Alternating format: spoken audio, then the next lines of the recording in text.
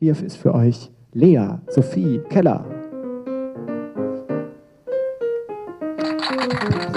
Man, man weiß auch dann, wenn man dieses Effektgerät hat, weiß man gar nicht so genau, ob man jetzt noch selber in die Hände klatschen soll oder nicht. Lea, schön, dass du da bist. Ja, ähm, ich auch. Sag, dein Buch ist dieses Jahr erschienen. Ja. Ähm, hat sich dort ähm, niedergeschlagen, in welcher Situation wir uns jetzt gerade befinden gesellschaftlich, oder sind die Texte darin prä-Corona entstanden? Und wenn ja, was sind das für Themen, die dich beschäftigt haben?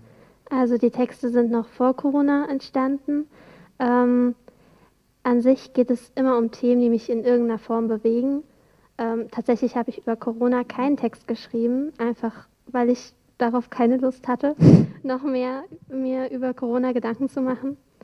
Ähm, ja, die Buchveröffentlichung hat sich halt sehr lang hinausgezögert und bis wir dann gesagt haben, dass wir es trotzdem in Corona-Zeiten noch machen werden. Ja. Verstehe. Vielen Dank. Ich bin sehr gespannt auf deinen Text. Ähm, Lea Sophie Keller, meine Damen und Herren.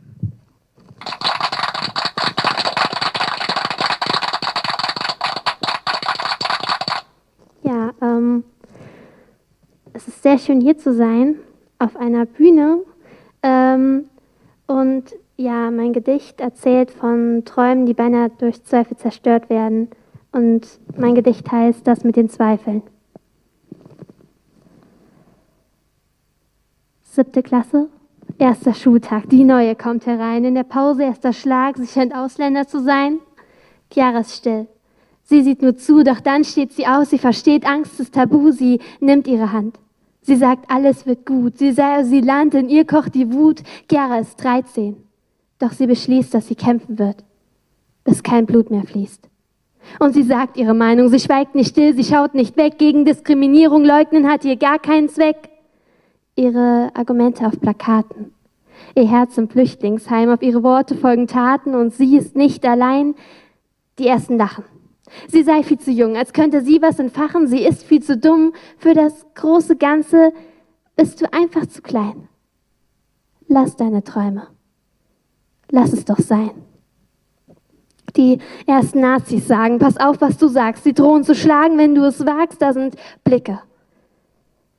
Sie zweifelt an sich. Da hört sie Worte, sie, vielleicht haben sie recht, sie spürt die Schläge, sie bekommt Angst. Ihr geht es schlecht, keiner nimmt ihre Hand. Zweifel nisten sich ein. Vielleicht gibt sie auf. Sie muss sich befreien. Dritte Klasse. Kleiner Lars. Wie die Mädchen tanzen, sieht aus nach viel Spaß. In der Pause stehen alle beieinander. Wie sie sich drehen, macht Lars ganz durcheinander. Nach der Schule schließt er sich ein. Er bewegt sich zur Musik, er will die Funke Marie sein. Lars steht vor dem Trainingsraum. Er klopft leise an der Tür, tanzen ist sein großer Traum. Er kommt rein, er kämpft dafür, er steht vor dem Trainer. Er sagt, was er will. Er reicht ihm den Zehner für die Stunde, sagt er still. Die ersten Mädchen lachen. Er ist doch ein Junge, als könnte er Spagat machen, ertönt es aus ihrer Zunge, er sprintet nach draußen. Die Jungs ärgerten ihn, schlugen ihn in den Pausen, bis seine Träume verfliehen. Da sind Blicke. Er zweifelt an sich. Da hört er Worte, vielleicht haben sie recht, er spürt die Schläge. Er bekommt Angst. Ihm geht es schlecht, keiner nimmt seine Hand. Zweifel nisten sich ein. Vielleicht gibt er auf. Er muss sich befreien. Neunte Klasse? Schüchternes Ding. Sie redet kaum, sitzt nur still da, als die Schulglocke losging. Was sie weiß, man weiß es nicht. Was in ihr vorgeht, bleibt geheim. Wenn man sie fragt, macht sie dicht. Sie scheint sehr nachdenklich zu sein. In Deutsch hat sie nie aufgepasst. Auf Sätze ging immer schief. Analysieren hat sie gehasst. Emma wird lieber kreativ. Sie soll Zwischenzeilen lesen. Es gelingt ihr einfach nicht. Sie soll aufzeigen und reden. Sie schreibt lieber ein Gedicht. Sie sieht Menschen, die Poesie selbstsicher auf Bühnen tragen. Sie hört die Buchstaben, Melodie, sieht, wie Poeten Worte jagen. Sie möchte das auch. Sie meldet sich an, weil sie die Bühne braucht, weil sie das bestimmt kann. Die ersten Auftritte vergehen. Die ersten Menschen berührt in den Bühnenraum wehen, Blicke, die sie spürt, klar, ist sie noch am Anfang.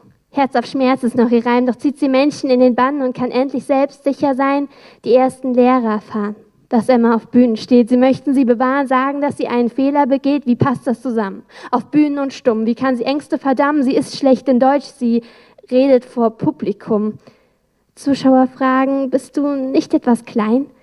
Sie schauen und sagen, große Worte passen nicht rein. Da sind Blicke. Sie zweifelt an sich, da hört sie Worte, vielleicht haben sie recht. Sie spürt, sie ist still, sie bekommt Angst.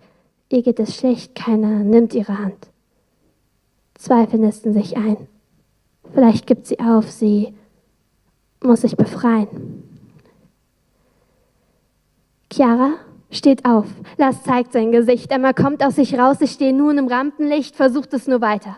Drückt sie in Schubladen, sie bauen sich Leitern, es reicht schon ein Faden, sie klettern hinauf. Du hältst sie nicht auf. Sie verbannen die Zweifel, sie machen sich nichts draus. Chiara kämpft gegen Rassismus, auch wenn es ihn nicht passt. Lars hat seinen Entschluss schon längst gefasst. Emma pfeift auf all die Pfeifen, die nicht an sie glauben. Sie wird nach Sternen greifen, Worte kann man nicht rauben. Sie ist zu laut. Sie muss vornehm sein. Sie ist zu still, er darf nicht schreien. Sie ist zu jung. Sie kann nichts erreichen. Er ist zu alt, die Jahre verstreichen. Da ist die Schublade nimm ruhig Platz. Oder verbrenn die Fassade, kratz das Holz ab, sie ist zu dumm, sie ist ein Lügenverbreiter. Er ist zu schlau, er ist der Außenseiter, sie ist zu dünn. Sieht echt nicht schön aus. Er ist zu dick, er soll nicht aus dem Haus. Da ist die Schublade. Mach's dir gemütlich. Oder sei eine Granate und spreng deine Worte in sein Gesicht. Sie ist zu klein. Sie kommt nie drauf. Er ist zu groß, er spielt sich auf, sie ist ein Mädchen. Sie muss gut aussehen, er ist ein Junge, er darf sich nicht zur Musik drehen. Versucht es nur weiter. Drückt sie in Schubladen. Sie bauen sich Leitern, es reicht schon ein Faden. Sie klettern hinauf. Du hältst sie nicht auf. Sie verbannen die Zweifel, sie machen sich nichts draus. Da sind Blicke. Sie blickt zurück. Da hört er Worte, er ist ein Einzelstück, sie spürt die Schläge. Sie macht die Ding, er macht so weiter. Sie ist der King. Da ist die Schublade. Da sind die Sterne. Dankeschön.